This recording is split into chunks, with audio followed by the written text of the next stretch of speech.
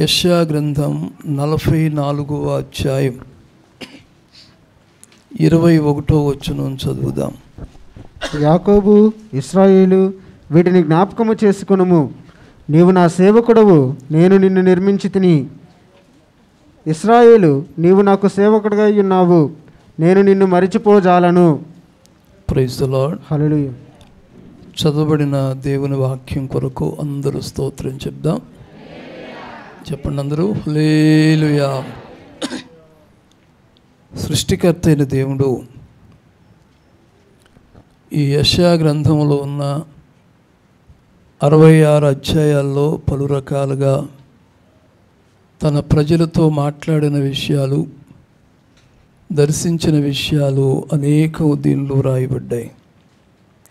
ఈ నలభై నాలుగో అధ్యాయంలోకి వచ్చేసరికి దేవుని పరిస్థితి లేక దేవుడు తన ప్రజల పట్ల చేసే కార్యం ఏమిటి ఆయన ఎలాంటి వాడు? ఇరవై ఒకటో వచ్చిన మనం చదివాం. యాకోబు ఇస్రాయేలు వీటిని జ్ఞాపకం చేసుకో. నీవు నా సేవకుడు నేను నిన్ను నిర్మించాను. నీవు నాకు సేవకుడువై ఉన్నావు కాబట్టి నేను నిన్ను మరిచిపోజాలను. ఆమె అందరూ ఇలా చెప్పండి నా దేవుడు మీ పక్కవాడు చెప్పండి. నన్ను ఎప్పుడూ మర్చిపోనివాడు. ఆమె మన ధ్యానాంశము దేనిని మర్చిపోనివాడు? చెప్పండి. మీ పక్క వాళ్ళకి దిశ మార్చి చెప్పండి నా దేవుడు దేనిని మర్చిపోడు? ఎవరిని మర్చిపోడు? ఆమెన్. ఆమెన్. గతించిన వారంలో చెప్పిన ధ్యానాంశం ఏంటో చెప్పండి. గట్టిగా. మైక్లో. ఆయనే చూసుకుంటాడు. గట్టిగా చెప్పండి. ఆయనే చూసుకుంటాడు. మీ పక్క వాళ్ళు ఆయనే చూసుకుంటారు. గట్టిగా. చూసుకుంటారు గత వారం నుండి ఇప్పటి వరకు ఎన్ని రకాలుగా నువ్వు నమ్మిన దేవుడు నేను చూసుకున్నారో ఒక్కసారి ఎవరు వేసుకుని దేవునికి మహిమ చెప్పండి. హలేలుయా ఆమె అన్నీ ఆయనే చూసుకుంటాడు. ఈ వాక్యం చేత గతించిన వారంలో కొందరు బలపరచబడ్డట్టు ఆదరించబడ్డట్టు నాకు ఫోన్ల ద్వారా తెలియజేశారు. ప్రైజలాడ్ చాలా ఆర్థిక పరిస్థితుల్లో ఉన్న ఒక బిడ్డ ఇంటికి వెళ్తే అద్దె కట్టలేని పరిస్థితి ఇంట్లో జరుగుబాటు లేని పరిస్థితులతో ఆ రోజుకి సరిపడా అర కిలో బియ్యం మాత్రమే తెచ్చుకోగలిగిందంట.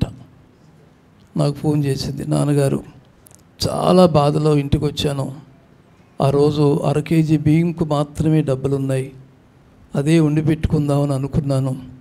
మీరు చెప్పిన మాట నన్ను బలపరిచింది. అన్నీ ఆయనే చూసుకుంటాడు. చెప్పండి. అన్నీ ఆయనే చూసుకుంటాడని ప్రార్థన చేశాను మీరు చెప్పారు. అలాగే రావలసినవి రెండు నెలల నుంచి రావలసినవి రాకుండా ఆగినవి వచ్చేసినాయి. ఆ తర్వాత కట్టవలసిన అప్పులు కూడా ఈసారికి నేనే కడతాను తర్వాత చూసుకుందామని అన్నారు ఇంకొకళ్ళు. ప్రైజ్లాడు మరి చూసుకున్నాడా లేదా? గట్టిగా. ఎప్పుడు నమ్మండి చెప్పే వాక్యము ఆ వారం అంతా నెవరు వేయండి అన్నీ ఆయనే చూసుకుంటాడు. గట్టి చెప్పండి అన్నీ ఆయనే చూసుకుంటాడు. నీ కష్టం వచ్చినా నష్టం వచ్చినా ఇబ్బంది వచ్చినా వ్యతిరేకత కలిగినా ఆయనే చూసుకుంటాడు. అది ముగిసిన సందేశం. ఈరోజు ఫ్రెష్ సందేశం ఏంటంటే దేనిని మర్చిపోనివాడు? ఆమె. మనుషులు కొన్ని మర్చిపోతారు. కొందరిని మర్చిపోతారు కొన్నిటిని మర్చిపోతారు. కొందరు గతాన్నే మర్చిపోతారు. కానీ నువ్వు నమ్మిన దేవుడైతే ఈ అరవై ఆరు గ్రంథాల్లో కనపడుతున్న ఫోన్లు కట్టేయండి. ఈ అరవై ఆరు గ్రంథాల్లో కనపడుతున్న నజరీయుడైన ఏసయ్య నిన్ను మరవడో. ఆమె చెప్పండి. నిన్ను మరవడో. ఆయన దేనిని మరవడో? ఎవరిని మరవడో? నమ్మిన వారిని ఏమాత్రం కూడా మర్చిపోడు. వాక్యం సెలవిస్తుంది. తల్లి మర్చిపోతుందంట తండ్రి విడిచిపెడతాడట. తండ్రి మరచు తల్లి మరచును తండ్రి విడుచును. చూడము. నా అరిచేతుల మీద నిన్ను చెక్కున్నాను. నీవు నా సొత్తు. ప్రైజులా మూడు మాటలు. మొదటి ఆరాధనలో దేవుడు ఎవరిని మరవలేదు? ఎందుకు మరవలేదు? అది దేవుని వాక్యంలో ఉన్నటువంటి మాట. నువ్వు నమ్మిన దేవుడు ఎవరిని ఎప్పుడు నిన్ను మర్చిపోయేవాడు కాడు. స్తోత్రం. దేవుని కొరకు ఒక చిన్న పని చేస్తే చిన్న పరిచర్య చేస్తే చిన్న త్యాగం చేస్తే కొంచెం ఖర్చు పెడితే నువ్వు చేసిన దాన్ని మనుషులు మర్చిపోతారేమో కానీ నువ్వు నమ్మిన దేవుడు ఎప్పుడూ నిన్ను మర్చిపోడు. అదే సాక్ష్యం ఒక కుటుంబం చెప్తారు బైబిల్లో. నూట పదిహేనవ కీర్తనలో చూడండి. పన్నెండవ వచనంలో నూట పదిహేనవ కీర్తన యెహోవా మమ్మను మర్చిపోలేదు. మరలా చదువునాను యెహోవా మమ్మను మర్చిపోలేదు. యహోవా మమ్మను మర్చిపోలేదు. ఆయన మమ్మను ఆశీర్వదించును. ఆయన ఇస్రాయేలులను ఆశీర్వదించును. అహరోను వంశస్థులను ఆశీర్వదించును. యహోవా మమ్మును అంటే ఏంటి? బహువచనం మా ఫ్యామిలీని లేక మమ్మల్ని అందరినీ కూడా మర్చిపోలేదు. స్తోత్రం. దానికి ఉదాహరణ ఏంటంటే అబ్రహాము బాగా తిరుగుతున్న వయసులో ఉన్నప్పుడు దేవుడు అబ్రహాంతో ఒక మాట చెప్పారు. నీ సంతతి వారు తనది కాని పరదేశంలో బానిసత్వం బతుకుతారు. నన్నూరు సంవత్సరాలంటే నాలుగు వందల ఏండ్లు వారిని బాధ పెడతారు. ఈ నాలుగు వందల ఏళ్ళు అయిపోయిన తర్వాత మరలా వాళ్ళకి విడుదల నేను ఇస్తాను. ప్రైజలాడ్ వారిని విడిపిస్తాను నడిపిస్తాను. అబ్రహాముతో దేవుడు చేసిన వాగ్దానం. అక్షరాల నాలుగు వందల ముప్పై సంవత్సరాలు గడిచినా సరే ఇచ్చిన మాటని దేవుడు మర్చిపోలేదు. ఆమెన్. అందుకని దేనిని మర్చిపోని దేవుడు? స్తోత్రం. నీకు ఎవరైనా నష్టం చేశారా? నువ్వు మర్చిపోతావు కానీ నువ్వు నమ్మిన దేవుడు మర్చిపోడు. నీకు ఎవరైనా మేలు చేశారా? నువ్వు మర్చిపోతావు కానీ నువ్వు నమ్మిన దేవుడు మర్చిపోడు. స్తోత్రం. ఇటు వ్యాపారం దగ్గర నుండి అటు కుటుంబం వరకు అటు అన్ని విషయాల్లో కూడా ఇటు లోకరీతిగాను ఇటు ఆధ్యాత్మికంగాను అన్ని విషయాలను మర్చిపోని దేవుడే నీ పక్షాన ఉన్నవాడో. ప్రైజలాడ్ ప్రైజలాడ్ ఎవరిని మర్చిపోలేదు? నెంబర్ వన్ శ్రమ పెట్టిన వారిని మర్చిపోలేదు. నెంబర్ వన్ రాసుకోండి. శ్రమ పెట్టిన వారిని మర్చిపోలేదు. శ్రమ పడిన వాళ్ళు శ్రమ పడతానే ఉన్నారు కానీ ఎవరి చేత అయితే వాళ్ళు శ్రమ పెట్టబడ్డారో ఒకానొక సమయం వచ్చినప్పుడు ఇది అంటారు చూసారా? రహస్యమైనది ఏదైనా దాగదు రహస్యమైనది మిద్దుల మీద చాటపడుతుంది అది వెలుగులోనికి రప్పించబడుతుంది. ఒక కాలం రాబోతుంది ఒక సమయం రాబోతుంది అన్నిటినీ వెలుగులోనికి రప్పించే దేవుడు నీ పక్షాన ఉన్నాడు. ఆయన మరిచిపోడు. దేనిని? దేనిని మర్చిపోడని చెప్పండి. నన్ను ఇంతగా బాధ పెడుతున్నావా? చూడు దేవుడు ఉన్నాడు. ఆమెన్. నన్ను ఇంతగా బాధ పెడుతున్నావా? దేవుడు చూస్తున్నాడు. ఇదే మాట. చూడండి నిర్గమాకాండం మొదట అధ్యాయం పన్నెండో వచనంలో. శ్రమ పెట్టినటువంటి ఫరోను దేవుడు మర్చిపోలేదు. అయినను ఐగుప్తీయులు. వారిని శ్రమ పెట్టిన కొలది శ్రమ పెట్టిన కొలది. ఐగిప్తులు ఎవరిని శ్రమ పెట్టారు చదువయ్యా చెప్పు. ఇస్రాయేలీలు. ఇస్రాయేల్ని. అయినను ఐగుప్తులు ఇస్రాయేల్ని శ్రమ పెట్టిన కొలది వారు. విస్తరించి ప్రబలిరి గనుక వారు ఇస్రాయేలు ఎడలా అసహ్యపడిరి. ఎలాగూ? వీళ్ళు కొడుతున్నా తిడుతున్నా చేసిన పనికి తగిన జీతం భత్యం ఇవ్వకపోయినా వారు రోజు రోజుకి రోజు రోజుకి వృద్ధి వృద్ధి వృద్ధిలోకి వస్తున్నారు ఇస్రాయేలీలు. ఆమెన్. డెబ్భై మందితో వచ్చారండి. వారి కాల్బలం ఆరంభంలో ఎంత యూసేపు కాలంలో డెబ్భై మంది అట పైన రాయబడింది. ఐదో వచ్చిన చివరి భాగంలో యాకోబు గర్భవాసమున గర్భమున పుట్టిన వారందరూ డెబ్బై మంది. డెబ్బై మంది. అప్పటికి యోసేపు ఐగుప్తులో ఐగుప్తులో ఉండెను. స్తోత్రం. ఈ డెబ్బై మంది పుట్టినప్పుడు ఎనిమిదవ వచ్చి ఉంది. యోసేపును ఎరగని క్రొత్త రాజు ఐగుప్తును పాయాలను ఆరంభించెను. ఈ జనము మనకంటే బహుబలిష్టంగాను గొప్పగా ఉన్నారు గనక వీరి ఎడల కుయుక్తి జరిగిద్దాము. లేకపోతే యుద్ధం జరిగేటప్పుడు మన శత్రువులతో చేరి మనకు విరోధంగా పోరాడి మన దేశం నుంచి వెళ్ళిపోతారేమో అనుకుని పన్నెండవ వచ్చినములు ఐగిప్తులు వారిని శ్రమ పెట్టడం మొదలుపెట్టారు. శ్రమ పెట్టిన కొలది వారు విస్తరించి ప్రబలిరి. అది. శ్రమ పెట్టారు. శ్రమ కలిగిన బాధ కలిగిన కష్టానికి తగిన ఫలితాలు రాకపోయినా వారు ఇవ్వకపోయినా వీరు దేవుని మీద ఆధారపడ్డారు. మరొక మాట చూడండి. పద్నాలుగో అధ్యాయం పన్నెండో వచనంలో నిగమాకాండం పద్నాలుగు మా జోలికి రావద్దు. ఐగుప్తులకు దాసుల మగుదమని ఐగుప్తులో మేము నీతో చెప్పిన మాట ఇదే. ఇదే కదా మేము ఈ అరణ్యమందు చచ్చుట కంటే. పద్నాలుగు ఏడేనా? పద్నాలుగు పన్నెండు అయ్యా. పద్నాలుగు ఏడు అన్నాను నేను. మరియు అతడు మరియు అతడు శ్రేష్టమైన ఆరు వందల రథములను ఐగుప్తు రథములన్నిటినీ వాటిలో ప్రతి దాని మీద అధిపతులను తోడుకొని పోయెను. ఆమెన్. పద్నాలుగో అధ్యాయం ఏడో వచ్చును శ్రేష్టమైన ఆరు వందల రథములను ఐగుప్తు రథములన్నిటినీ వాటి మీద ప్రధానులందరినీ కూడా తీసుకుని వెళ్ళాడు. దేనికోసం? వారి దగ్గర ఉన్నప్పుడు ఈ నాలుగు వందల సంవత్సరాలు కఠినమైన బానిసత్వం చేయించాడంటే శ్రమ పెట్టాడు టోటల్ వర్డ్ అనమాట శ్రమ పెట్టాడు. ఈ శ్రమ నుండి ఎలాగోలా తప్పించుకుందామని మోషే సారథ్యంలో నడక ముందుకు నడుస్తూ ఉంటే ఆరు వందల రథాల మీద జనాన్ని తీసుకొచ్చాడు ఈ ఫరో. అంటే ఈ రీతిగా ప్రజలను ఇబ్బంది పెట్టి శ్రమ పెట్టాడు. నోట్ దట్ పాయింట్ పద్నాలుగు ఏడులో ఎంతమంది తీసుకొచ్చాడు? ఎన్ని రథాలు? ఆరు వందల రథాలు. రథానికి నాలుగు వేసుకోండి. నాలుగు ఆరులు ఎంత? ఇరవై నాలుగు. అంటే ఎంత? రెండు వేల నాలుగు వందల మంది ప్రజలను వాళ్ళ మీదకి పురిగొల్పాడు ఇంకా విస్తారమైన నడక సైన్యం ఉన్నారు. విస్తారమైన రౌతులు ఉన్న రౌతులు ఉన్నాయి.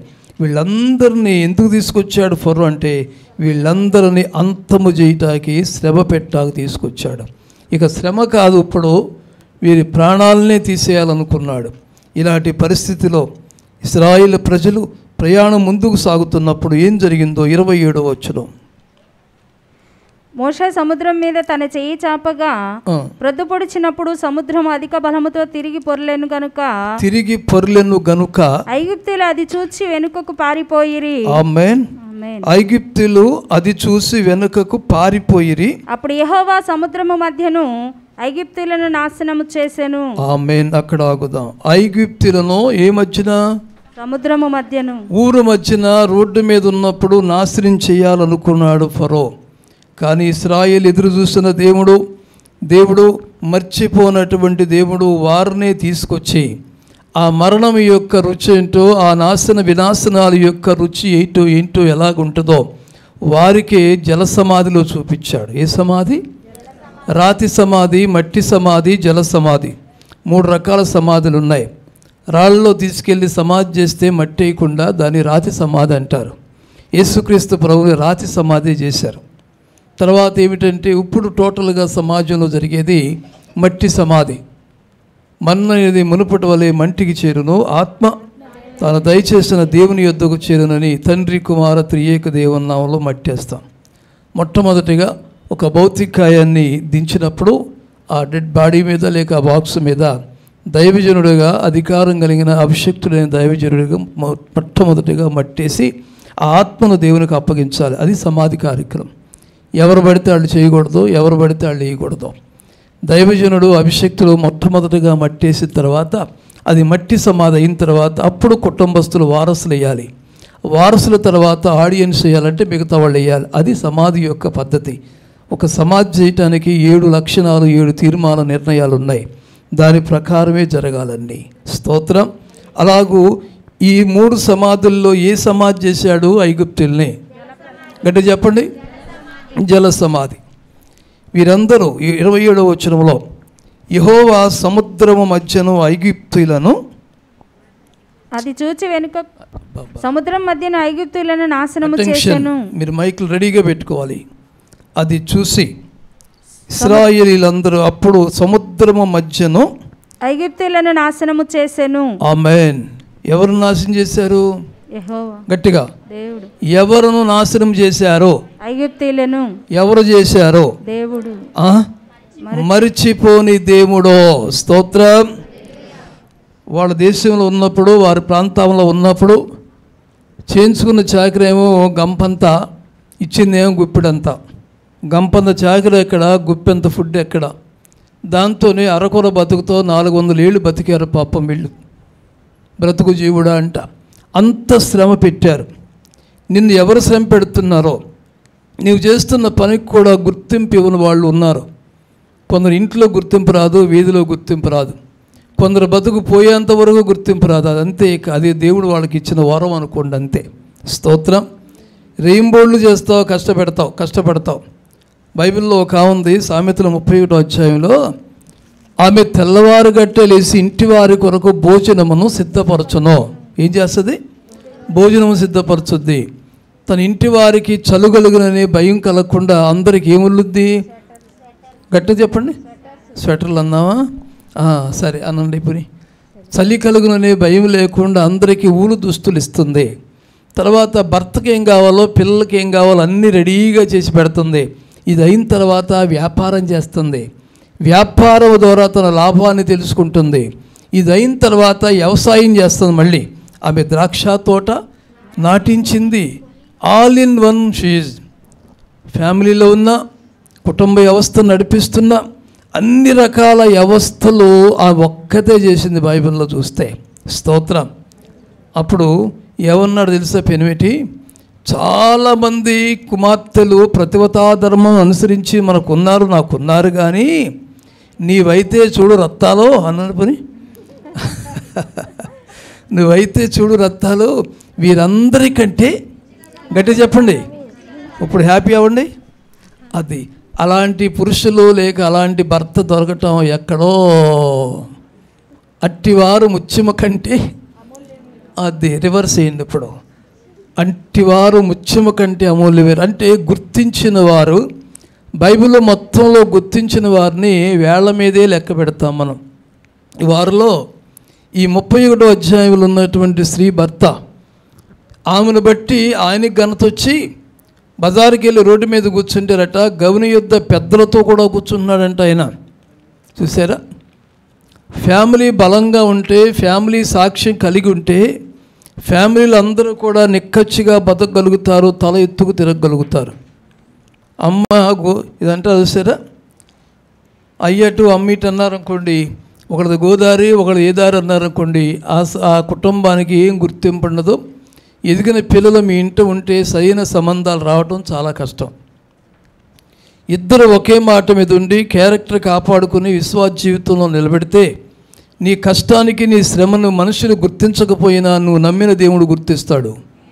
నమ్మిన వాళ్ళు. ఆమెన్. వీరు చేసిన పని ఫరో గుర్తించలేదు. వారిని ఎప్పుడు మెచ్చుకోలేదు. ఫితోము రామ్సెస్ అనే పట్టణాలు వీళ్ళ చేత్తో కట్టారు. వీళ్ళకి వీళ్ళే మట్టి అడసలు పోసుకోవటం ఇటుకలు తయారు చేసుకోవటం మట్టి తొక్కుకోవటం కాల్చుకోవటం ఆ తర్వాత అన్ని పనులు వీళ్ళే చేసి పెద్ద పెద్ద గోపురాల్లాగా కట్టి వీళ్ళకి పట్టణాలు కట్టించారు. వీళ్ళే టాపీ వాళ్ళు వీళ్ళే మొత్తం పనిచేసేవాళ్ళు ఇంత పనిచేసినా ఇంత కష్టపడ్డా ఈ నాలుగు వందల సంవత్సరాల్లో ఫరో ఏనాడు కూడా వాళ్ళకి సన్మాన సభ పెట్టినట్టు వాక్యం రాయబడలేదు. చూసారు ఎక్కడన్నా? పైగా వాళ్ళ మీద ఈర్షపడ్డాడు కష్టపడే వాళ్ళ మీద ఈర్షపడుతున్నారంటే అంతకన్నా దరిద్ర బతుకు? చెప్పండి. మరొకటి లేదు. అలాంటి కష్టపెట్టారు. అలాగ ఇబ్బంది పెట్టాడు. ఏనాడు కూడా వాళ్ళు ఫరో మీద తిరుగుబాటు చేయలేదు. దేవుని సన్నిధిలో ప్రార్థన చేయటం మొదలుపెట్టారు. స్తోత్ర. అప్పుడే దైవం ప్రత్యక్షమై అన్నారు నేను నా ప్రజల బాధను నిశ్చయముగా నేను చూశాను. నేను చూశాను విన్నాను దిగి వచ్చాను నడిపిస్తాను పాలు తేళ్ళు ప్రవహించే మంచి దేశానికి నేను వాళ్ళని తీసుకెళ్ళబోతున్నాను. అందుకు ఒక నాయకుడిని లీడర్ని ఏర్పాటు చేశాడు. పొదలో అగ్నిజ్వాల మధ్య ప్రత్యక్షమయ్యి ఇవి రారాబాయ్ నువ్వు నిలబడిన స్థలం పరిశుద్ధ స్థలం కనుక నీ చెప్పులు ఇడిచిపెట్టే నేను నీతో మాట్లాడాలన్నాడు. ఆ రీతిగా మోషేని దేవుడు లొంగదీశాడు. మోషే దేవుని దగ్గరికి వంగాడు. అక్కడి నుంచి ప్రయాణం అతి కష్టం మీద నడిపిస్తూ ఉంటే ఇక్కడ కూడా వదిలిపెట్టలా. శ్రమ పట్టేవారు నీ తుది శాస వరకు నిన్ను వెంబడిస్తూనే ఉంటారు. నిన్ను వదిలిపెట్టరు. అలాంటి టైంలో నువ్వు నమ్మిన దేవుడు నిన్ను మర్చిపోని దేవుడు నీ వెనక నీడగా ఉన్నాడు అందరూ అమ్మే ఇక్కడికి వచ్చారు. వీళ్ళందరినీ ఆరు వందల రథాలతో వచ్చినటువంటి ఈ సైన్యం అనేక మంది రౌతులతోనూ బలాఢ్యులతోనూ ఆయుధాలతో వచ్చినటువంటి వాళ్ళు ఇస్రాయేళ్ళ ప్రజల మీద ఒక్క ఆయుధం కూడా ప్రయోగించడానికి దేవుడు అవకాశం ఇవ్వలేదు. స్తోత్ర. నిన్ను ముట్టినవాడు కనుగుడు ముట్టాడు. నీ దేవుడు నీకు నీడగా ఉంటాడు. నీ కుడి ప్రక్కన హోవా నీడగా ఉంటాడు. నీ షాడో కనపడకపోయినా దేవుని నీడ నీకు కనపడుతుంది. ఆయన దేనిని? చెప్పండి మర్చిపోడు. ఎవరైనా తిట్టారా? మెదలకుండా ఉండు. చూసేవాడు చూస్తున్నాడు. చెప్పండి. అనేవాడు అంటాడు చేసేవాడు చేస్తాడు. నేను మౌనంగా కనిపెడతా. నా ప్రాణమా దేవుని నమ్ముకుని మౌనముగా ఉండము. ఆయనే నీకు ఆధారము ఆశ్రయము. అరవై రెండవ కీర్తనలో ఆ మాట రాయబడింది. ఇలాగ వెంబడించిన శ్రమ పెట్టినటువంటి ఫరోను దేవుడు జల సమాధి చేశాడు. ఇరవై తొమ్మిదో వచ్చినం కూడాను. అయితే ఇస్రాయేలు ఆరు నెలను సముద్రము మధ్యనున్నప్పుడు ఆ నీళ్ళు వారి కుడి ఎడమ ప్రక్కలను గోడవలే నుండెను. ఇరవై తొమ్మిదో వచనంలో ఇస్రాయేలీలు ఆరిన నేల నడిచిరి. మరి ఐగిప్తులు నిండు సముద్రములో నాశనమైరి. అంటే శ్రమ పెట్టిన ఫరోని దేవుడు మర్చిపోలేదు. తన ప్రజలను ఎర్ర సముద్రం అంచు వరకు తీసుకుని వెళ్ళి అక్కడైనా ఎక్కడ అవకాశం దొరుకుద్దా అంతం చేయాలని చూశాడు. శత్రువు నిన్ను వెంబడిస్తున్నాడు పరిస్థితులు నిన్ను వెంబడిస్తున్నాయి. నీ జీవితం అయిపోయిందని చెప్తాయి నీకు ఇంకేం లేదని చెప్తాయి. అంచు దగ్గరికి వెళ్ళినప్పుడైనా దేవుడు ఒక్క లాగులాగి పక్కన పడేసినట్టుగా నీ దేవుడు నిన్ను తప్పించబోతున్నాడు. మీ పక్క వాళ్ళు చెప్పండి నా దేవుడు నన్ను వదిలిపెట్టడో. చివరి పరిస్థితుల్లోనైనా ఒక్కసారి లాగి పక్కన పడేస్తాడు. ప్రైజలాడ్ ముందు సముద్రము వెనక సైన్యం. ముందు గుయ్య వెనక నొయ్య అన్నట్టుగా వెనక్కెళ్ళినా చచ్చిపోతాం ముందుకెళ్ళినా చచ్చిపోతాం. ఇక పరితాపం పట్టలేక మోసే మీద తిరుగుబాటు చేశారు ఈ మహానుభావులు. ఐగుప్తు మాకు సమాధులు దొడ్లు లేవు అనుకున్నావా? మేము అక్కడ సావటమే మేలు కదా. ఇక్కడ సైన్యం చేతిలో చంపుతావా? ఈ జల సమాధి చేస్తావా? ఇంతకన్నా నిక్షిప్తమైన బతుకు ఏమన్నా ఉందా? ఏంటి మోసే అంటే? మోసే ఏం చేస్తాడు? చేతులు ఎత్తాడు దేవుని దగ్గర. దేవా ఏంటి ప్రజలు నా మీద తిరగబడుతున్నారో? నువ్వు ఊరుకోరా బాబు నువ్వు మౌనంగా ఉండు. నేడు హోవా కలగచేయి రక్షణను మీరు ఓరక నిల్చుండి. చూడండి ఈనాడు చూసిన ఐగుప్తులను ఇక మీదట మీరు చూడరు.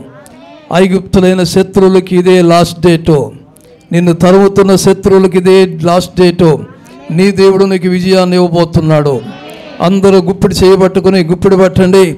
నా దేవుడు నాకు విజయాన్ని ఇవ్వబోతున్నాడు. ఫరో రథముల సైన్యముల సముద్రములో ముంచి వేసిన దేవుడు నా సమస్యలు ముంచి వేస్తున్నాడు అందరూ చెప్పండి నా సమస్యలను ముంచి వేయబోతున్నాడు నన్ను ఆరు నెలలోకి నడిపిస్తాడు. నడిపిస్తాడు నా దేవుడు శ్రమలోనైనా నన్ను విడువడు. నడిపిస్తాడు నా దేవుడు శ్రమలో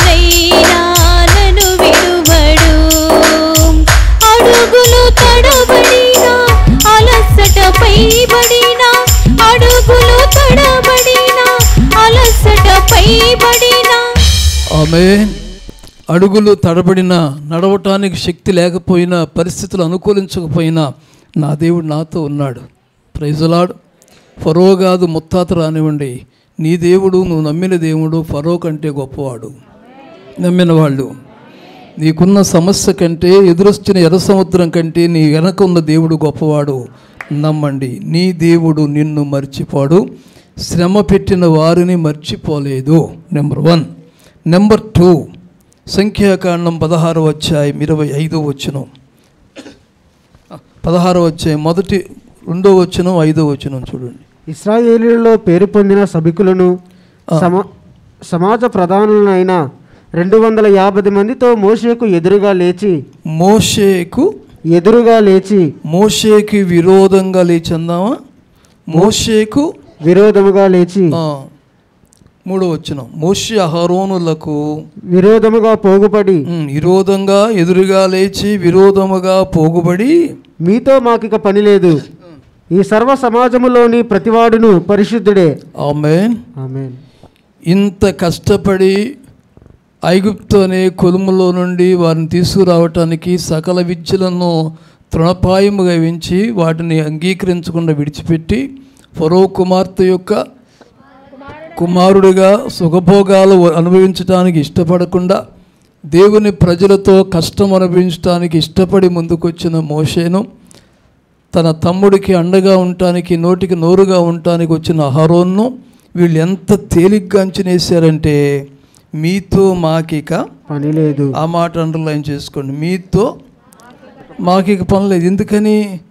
రేవు దాటాం కాబట్టి ఇక తెప్పతో గట్టిగా పని లేదు. అవసరం తీరింది కాబట్టి ఇక ప్రస్తుతానికి మీ అవసరం మాకు లేదు. కృతజ్ఞతాహీనులు అనేది నాడు ఉన్నారు నేడు ఉన్నారు. నమ్మిన దాన్ని మర్చిపోయేవాళ్ళు పొందిన దాన్ని మర్చిపోయేవాళ్ళు నాడు నేడు సమాజంలో ఏ సెట్ మారలా? మైండ్ సెట్టే మారలా. అప్పుడు ఎంకయ్య అట్టున్నాడు ఇప్పుడు ఎంకయ్య అట్టాగా ఉన్నాడు. అర్థమైందా? మారలేదు. ఎందుకనండి అంటే అన్నీ బాగున్నప్పుడు మనిషి మనిషికి దొరకడు దేవుడికి కూడా దొరకడు.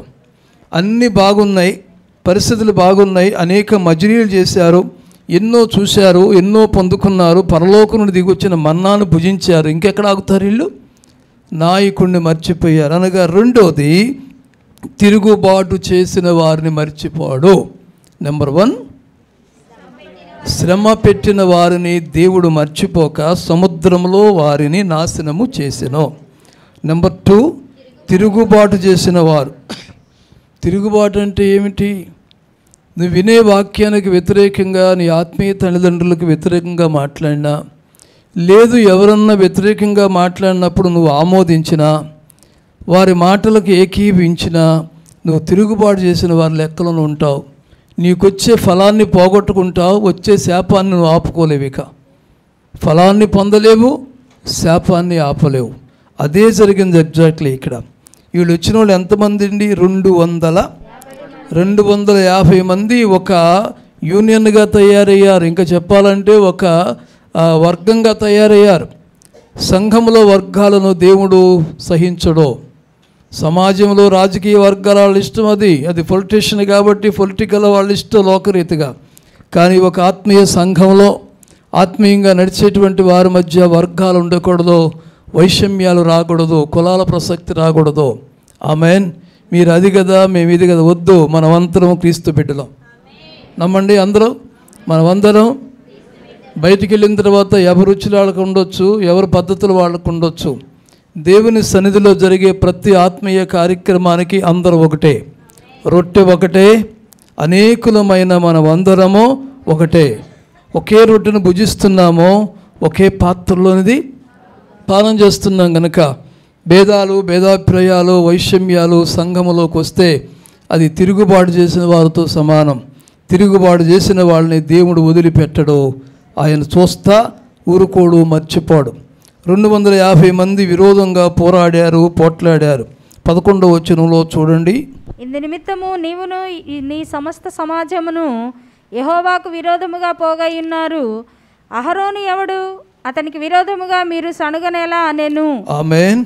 యహోవాకు విరోధంగా ఒక దైవజనుడికి వ్యతిరేకంగా మాట్లాడితే లేక విరోధంగా మాట్లాడితే నువ్వు దేవునికి విరోధంగా మాట్లాడినట్లే. నేను ఎప్పుడైనా ఏ పాస్టర్ గారినైనా నేను దాన్ని ఏమంటారు? విరోధంగా లేక వారికి తప్పుగా మాట్లాడినట్టు విన్నారా? లేక విమర్శన ఇచ్చినట్టు విన్నారా? విమర్శించకూడదు. ఎవరు పని వాళ్ళది ఎవరు పని ఎట్టిదో వాని వాని పని ఎట్టిదో అగ్ని పరీక్షిస్తుంది. విమర్శ చేయబాకండి వాళ్ళు ఇటు పెట్టంగానే పడిపోతున్నారంట వాళ్ళు ఇట్టనంగానే వెళ్ళనే ఉండి. ఎంతకాలం బండి నడుచుద్దో అంతవరకు నడుచుద్ది ప్రధానికి బ్రేక్ అనేది ఉంది నేను ఎంతో మందిని చూశాను ఈ నలభై సంవత్సరాల విశ్వాస అనుభవంలో. ఎంతో మందిని ఒడిగెట్టాను. అర్థమైందా? కాబట్టి ఇలా పైకి వెళ్ళిన వాళ్ళందరూ అట్టాగా ఉన్నట్టుగా నేను చూడాల. ప్రతిదానికి కూడా ఒక టైం ఉంటుంది. అందుకని ఎవరు పనాళ్ళు చేసుకుంటారో అది నీకు అనవసరం విమర్శలు నీకు వద్దు. నువ్వు నిలబడ్డ బండ మీద స్థిరంగా నిలబడు అదే దేవుడు చూసేది. ఆమె మోసే ఎవరు అహరోన్ ఎవరండి? వీళ్ళకి విరోధంగా నువ్వు ఎందుకు మాట్లాడుతున్నావు? మోసే అహరోన్లు నా బిడ్డల కాదా? నేను ఏర్పాటు చేసుకున్న వాళ్ళు కాదా? నువ్వెందుకు విరోధంగా వచ్చారు? ముప్పై రెండో వచ్చిన త్వరగా. భూమి తన నోరు తెరిచి వారిని వారి కుటుంబములను కోరహు సంబంధులందరినీ అమ్మా. భూమి తన నోరు తెరచి నోరు తెరచి. వారిని వారి కుటుంబములను కోరహు సంబంధులందరినీ వారి సమస్త సాంపద్యమును మృంగివేసెను. రింగివేసెను వారి ఉన్న సమస్త సాంపత్యమును సంతానమును కుటుంబాలను మింగి వేసెను ముప్పై ఐదో వచ్చును. మరియు యెహోవ యొద్ద నుండి అగ్ని బయలుదేరి.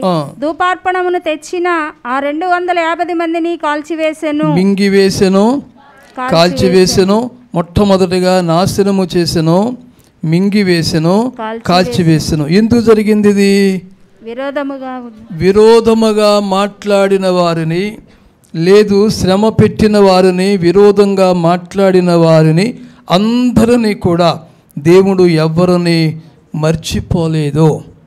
ఆమె అప్పుడప్పుడు మా మనకు పాట వినపడతా ఉంటుంది. వాళ్ళ ఇష్టం లేండి మన విమర్శ కాదు కానీ ఎక్కడున్నావయ్యా అసలుకి? ఎన్ని ఎక్కినా అసలు కనపడవేంటి అంటారు? ఉన్నవాడ నన్నవాడవు నవాడవు నడు నిన్ను వీడను ఎడబాయనన్నావు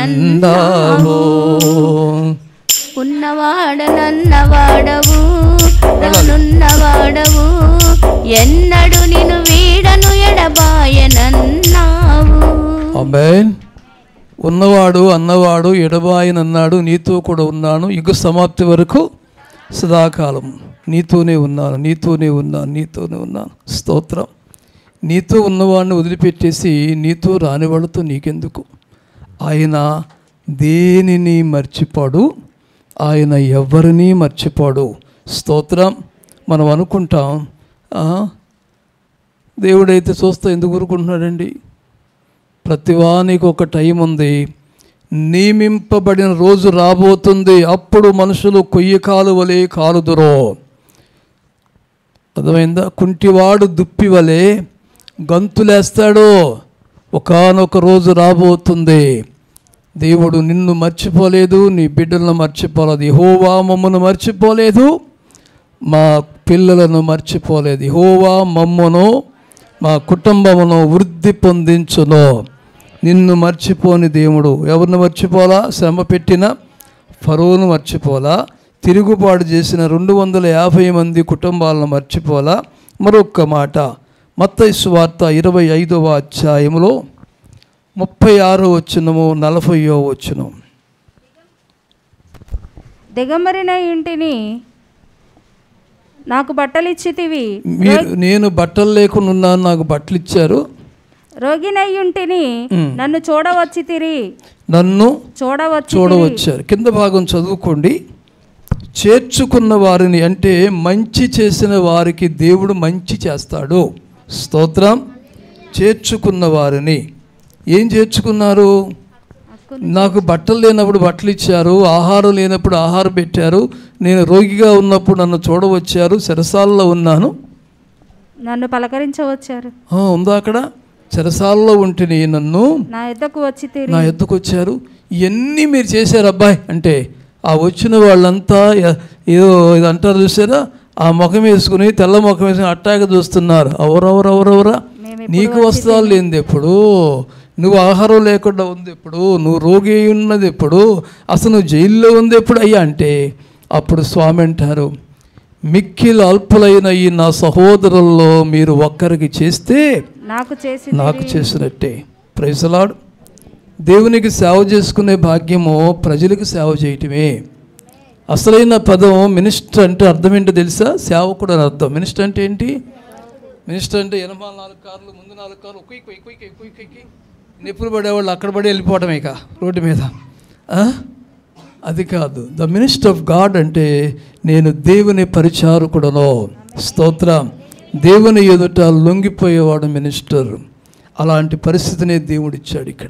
ప్రైజలాడ్ ఎవరైతే దేవునికి సేవ చేస్తున్నారో అంటే దేవుని ప్రజల పట్ల వస్త్రం లేదా వాళ్ళకు వస్త్రం ఇవ్వండి మీరు దేవునికి ఇచ్చినట్టే.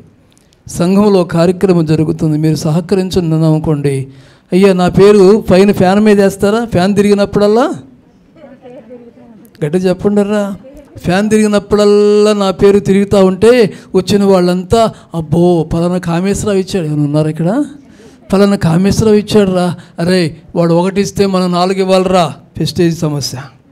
అందుకనే దేవుని దయ వల్ల మందిరంలో ఎవరి పేర్లు ఉండవు. ఎవరి పేర్లు పైకి మెన్షన్ చేయటానికి నేను ఇష్టపడను. అది మంచి పని కాదు. నేను పేరు చెబితే దేవుడు అక్కడ మీ పేరు తీసేస్తాడు. అందుకని అంత తిప్పలు తెచ్చుకోవాలి. రహస్యమందు చూసు తండ్రి నీకు ప్రతిఫలం ఇవ్వాలంటే నీవు కృతజ్ఞతాభావంతో ప్రతిఫలాపేక్ష కోరకుండానే చేయాలి అప్పుడే దేవుడు నీకు నీ బిడ్డలకు ప్రతిఫలాలు ఇస్తాడు. నేను చేశాను నా పేరు పైకి చెప్పాలి. ఒక ఊరు వెళితే కేజీ కందిపప్పు కాడ నుంచి ఐదు రూపాయల కాడ నుంచి ఒక అయ్యగారు చదువుతున్నారు. పెద్ద లిస్ట్ ఉంది. అమెరికా నుంచి పాకిస్తాన్ దాకా ఉందన్నమాట లెటర్. రెండు గంటలు చదివారండి బాబోయ్. రెండు గంటలు వరుసగా చదివాడు. ఈ వరుసగా చదివిన దాంట్లో వంద రూపాయలు ఇచ్చిన ఆయన పేరు మర్చిపోయాడంట. వచ్చింది ఇక బాంబు. వంద రూపాయలు ఇచ్చిన ఆయన పేరు దాంట్లో పళ్ళ. అవటం ఆలస్యం. స్టేజ్ దగ్గరికి వచ్చేసాడు ఆయన. నేను అక్కడే ఉన్నాను. ఐగోరో ఐగోరో అంటున్నాడు. ఓ యాంటీయా అంటాడు ఆయన. ఏమనుకోకండి. యాంటీయా అంటే యావలేదు అయ్యగారో. నా పేరు రాలేదు యాంటీయా అన్నాడు. అనగానే అరే రే నీ పేరేంటి చెప్పు ఇప్పుడే రాస్తున్నా. రాసేసాడు ఒక చిన్న సవరణ అండి మర్చిపోయాను దయతో మరణించాలి. సభకులందరూ మరణించాలి. ఇదిగోండి. ప్రధాన ఆయన పేరు ఏదో ఉందిలే. ఆయన రా ఇచ్చింది వంద రూపాయలు దీంట్లో పడలేదు. మర్చిపోయాను పొరపాటు అయింది నన్ను క్షమించమని అడుగుతున్నాను. వంద రూపాయల కోసం ఎన్ని మాటలు? వెయ్యి రూపాయలు ఎనర్జీ పోద్దనమాట వంద రూపాయలు ఇచ్చారు దేవుడు వారిని. రోడ్ల అమ్మడి బళ్ళు వెళ్తూ ఉంటాయి. వారిని వారి కుటుంబాలని అష్టైశ్వర్యాలతో అని వచ్చినప్పుడు ఆ మాట నంగానే ఎక్స్పార్టీ వాడు దానికి ఇంకా రెండు రూపాయలు చదివించరా? మనం ఏం తక్కువ అంటారు. అది దేవుని నామంలో దేవుని సంఘములో ఆ సాంప్రదాయం లేదు. నువ్వు చేసేది దేవుడు చూస్తున్నాడు ఆ దేవుడు నీకు చేస్తాడు. ఆయన ఎవరిని దేన్ని మర్చిపోడు. నువ్వు చేసింది చెప్పొద్దు.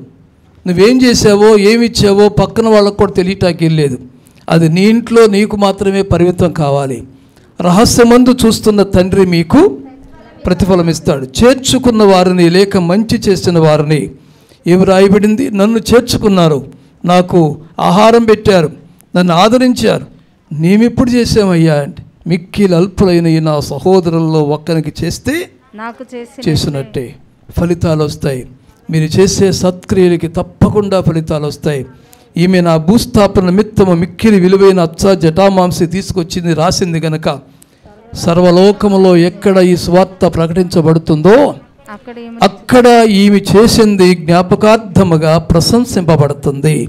ప్రకటించబడే కాడ ఈమె ప్రశంసింపబడుతుంది. అదే ఫలితం అంటే నువ్వు చేసేది ఆయన మర్చిపోడు నువ్వు చేసింది మర్చిపోడు. నీ బిడ్డ బిడ్డ తరముల వరకు అక్కడ పరలోక బ్యాంకులో దానికి ఇంట్రెస్ట్ ఇంట్రెస్ట్ వడ్డీకి వడ్డీకి వడ్డీకి పెంచుతూ ఉంటాడు ఆయన. అక్కడ వడ్డీలకి ఇచ్చేవాళ్ళు లేరు. ఈ తిప్పలంతా ఇక్కడే తీసుకునేవాళ్ళు లేరు. ఆయనే ప్రతిఫలం ఇస్తాడు. స్తోత్ర. ఇక చివరిది. మూడవ మాట చదువుదాం. చివరి విషయం చూడండి.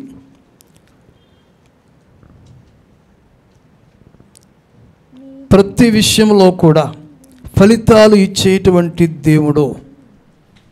మత్తైసు వార్తలో ఇరవై ఐదవ అధ్యాయం అనుకుంటా తీయండి. ఇరవై ఐదవ అధ్యాయం చివరి మాటగా ఇరవై నాలుగో వచ్చను తరువాత ఒక తలాంత తీసుకొనిన వాడును తర్వాత తీసుకున్నవాడును వచ్చాడు. అయ్యా. నీవు విత్తని చోట కోయువాడవును. చల్లని చోట పంట కూర్చుకొనువాడునైనా కఠిను కఠినుడు అని నేను ఎరుగుదును. కఠినుడు అని నేను ఎరుగుతును గనుక? గనుక నేను భయపడి వెళ్ళి నీ తలాంతులను భూమిలో దాచిపెట్టి తిని ఆమెన్.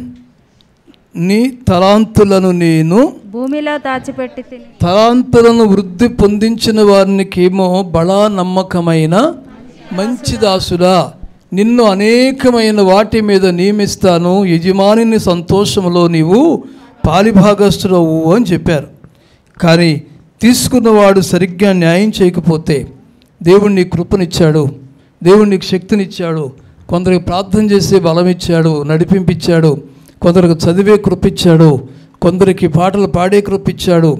దేవుడు నీకు ఇచ్చిన దాన్ని భూమిలో పాతి పెట్టవద్దు దేవుడు నీకు ఇచ్చిన కృపను సంఘములో వాడుకోవటానికి మీకు స్వేచ్ఛనిస్తున్నాను. ఆమె అంతేగాని నాకు మించిన వాళ్ళు లేరు. నాదేంటి నేనేంటి అనుకోవద్దు. ఇచ్చిన దాన్ని సద్వినియోగపరచుకోకపోయినందు చేత ఏం జరిగిందో ఇరవై తొమ్మిది ముప్పై వచ్చినాలు కలిగిన ప్రతివానికి ఇవ్వబడును. కలిగిన వానికి ఇవ్వబడుతుంది. అతనికి సమృద్ధిగా కలుగును. లేని వాని యొద్ద నుండి వానికి కలిగినది తీసివేయబడును. మరియు పనికి మాలిన ఆ దాసుని వెలుపటి చీకటిలో- మాలిన పనికి మాలిన పనికొస్తాడని మంచివాడని నమ్మి తలాంతు ఇచ్చి ఒక తలాంతు ఈ తీసుకెళ్ళి వ్యాపారం చేయరా బాబు మరలా నేను వచ్చిన తర్వాత లెక్కలు చూసుకుంటానంటే ఈ దాసుడు ఏమైపోయాడు? పనికి మాలిన వాడైపోయాడు ఆ దాసుని చీకటిలోనికి త్రోసివేయండి. అక్కడ ఏడ్పును పండ్లు కొరుకుటయి ఉండెనను. ఎక్కడ ఉండాలి అసలుకి? దేవుని మీకు స్థలం సిద్ధపరచని వెళుతున్నాను నేనుండే స్థలంలో మీరు ఉండులాగున మరలా వచ్చి తీసుకెళ్తాను. స్వామి మరలా రాబోతున్నాడు.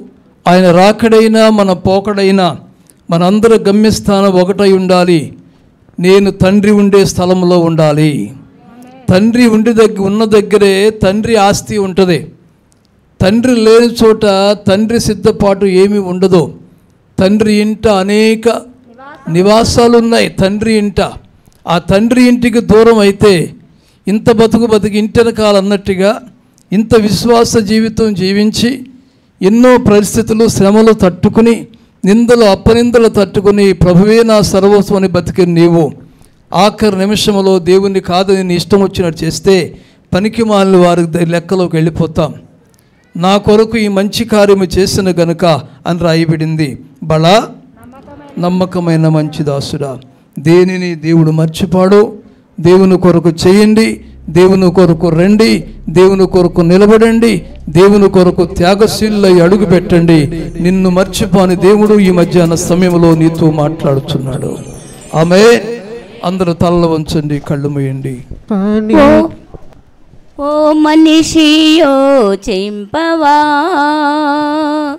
నీ బ్రతుకు ఎలా ఉన్నదో.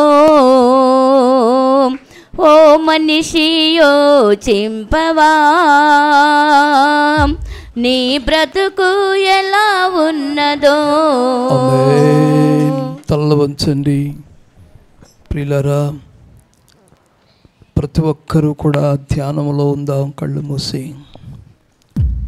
నీ దేవుడు నీతో మాట్లాడుచున్నాడు.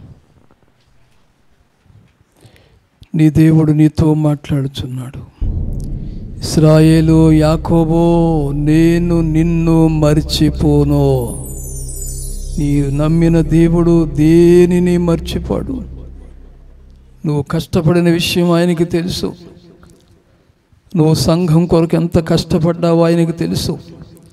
ప్రజల ద్వారా తోటివారి ద్వారా ఎంత శ్రమ పడ్డావో ఆయనకు తెలుసు. నీ కుటుంబంలో ఎన్ని ఒత్తిళ్ళు ఎదుర్కొన్నావో ఆయనకి తెలుసు. రామ్సేసు ఫుతూమ్ అనే పట్టణాలు కట్టి ప్రజల దగ్గరికి వచ్చి ఎంతో సేవ చేసినటువంటి ఇస్రాయిలను గుర్తించకుండా అణిచివేత గురి చేశారు. మీరు పొందిన కష్టాలు మీ కష్టాలు నాకు తెలిసే ఉన్నాయి. నేను చూస్తున్నాను. నేను వింటున్నాను. నేను మాట్లాడుతున్నాను. అందుకే మోషే రాను బయటికి. నేను నీకు తోడుగా ఉంటాను. వాళ్ళని తీసుకెళ్ళి బయటికి. వాళ్ళు అక్కడ ఉంటే శ్రమల పాలైపోయారు. నిందల పాలైపోయారు. అపవాస పాలైపోయారు. నా ప్రజలు అపవాస పాలవటం నాకు ఇష్టం లేదు. శ్రమ పెట్టిన మోషేని దేవుడు ఫరోను దేవుడు వదిలిపెట్టలేదు. స్తుతి స్తుతి స్తుతి స్తుతి. శ్రమ పెట్టినటువంటి ఫరోను దేవుడు వదిలిపెట్టల. ఆరు వందల రథాలు.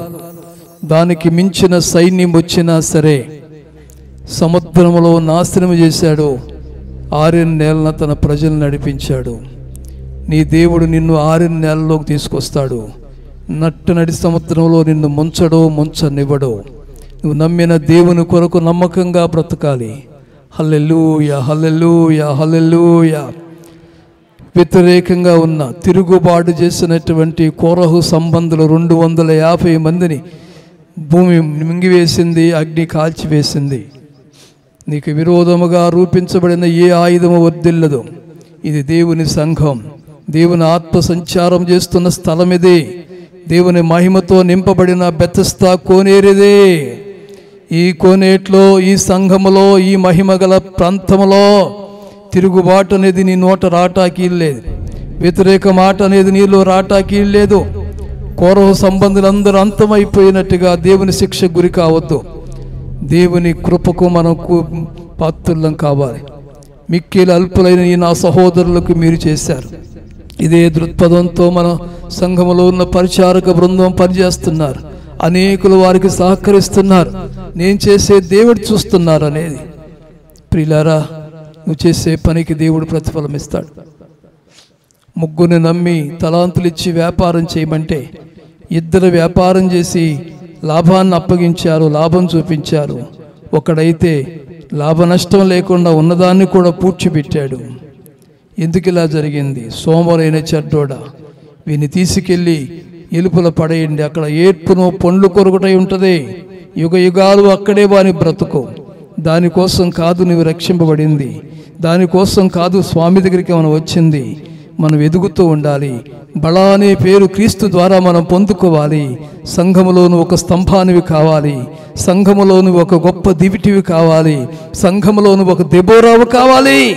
సంఘములోను ఒక పౌలు కావాలి.